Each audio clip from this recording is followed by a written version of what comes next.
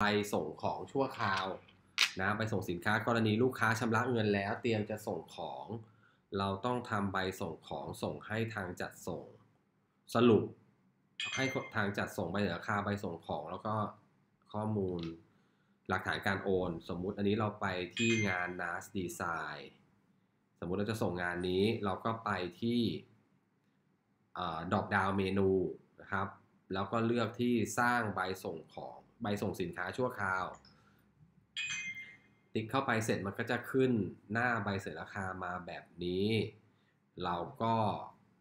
ทำการลบข้อมูลราคาก่อนทุกข้อก็ติ๊กไปแบบนี้ลบเสร็จ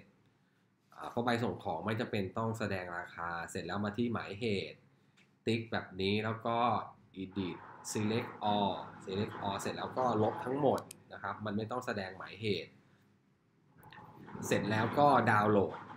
ดาวน์โหลดเอกสารก็จะไปอยู่ในโฟลเดอร์ดาวน์โหลดเราสำหรับแนบอีเมล อันนี้ก็ติ๊กทั้งต้นฉบับและสำเนานะครับ ข้อมูลการชำระไม่ต้องติ๊ก เสร็จแล้วก็กดดาวน์โหลด อันนี้จะไปอยู่โฟลเดอร์ดาวน์โหลดเสร็จแล้วเราเอาไฟล์นี้แนบส่งอีเมลนะครับ พอทำเสร็จแล้วก็ ปิดหน้าต่าง หัวข้อนี้มันจะขึ้นว่าดำเนินการแล้วนะครับ หลังจากนั้นพอเราส่งสินค้าแล้ว ก็มาเลือกตรงนี้ใหม่กด reset ข้อมูลราคากับหมายเหตุจะกลับมาเหมือนเดิม เสร็จแล้วขั้นตอนต่อไปคือการตัดสต็อกในเมื่อส่งของแล้วหรือทำทำเลยก็ได้ กดมาที่ สร้างใบกำกับภาษีใบเสร็จรับเงิน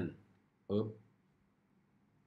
มันจะขึ้นหน้าใบราคาเดิมมาเสร็จแล้วเราก็กดบันทึกเอกสาร